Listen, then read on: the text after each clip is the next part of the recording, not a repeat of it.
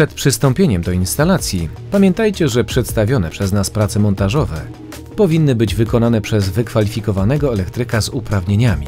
Bezprzewodowy łącznik oświetlenia jest elementem umożliwiającym sterowanie łącznikami lub gniazdami Connected bezprzewodowo. Ilość sterowanych łączników oraz gniazd zależy od Waszej decyzji.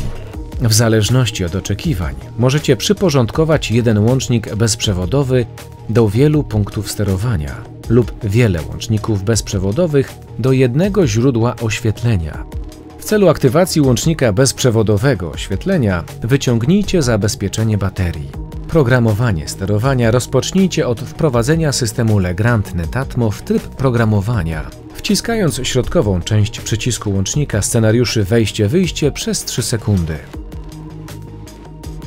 Aby aktywować łącznik bezprzewodowy oświetlenia, naciśnijcie krótko dolny klawisz łącznika.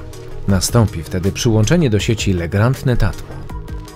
Kolejnym etapem jest wybór elementów, którymi chcecie sterować, a następnie znalezienie ich w sieci, przytrzymując dolny klawisz łącznika bezprzewodowego oświetlenia.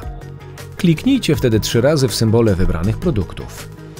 Potwierdzeniem sparowania będzie niebieska dioda sygnalizująca poprawne połączenie. Tworzenie każdej pary wymaga powtórzenia całej procedury.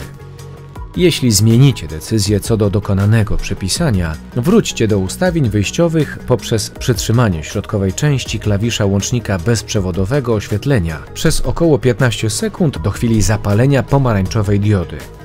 Jeżeli Wasza decyzja jest już ostateczna, przyciśnijcie krótko środkową część klawisza. Od tego momentu przypisywanie zacznie się od początku. Po przypisaniu wszystkich elementów, którymi chcecie sterować, wyjdźcie z trybu instalacji poprzez krótkie przyciśnięcie środkowego klawisza łącznika scenariuszy wejście-wyjście. Miejsce instalacji łącznika oświetlenia w domu zależy wyłącznie od Was.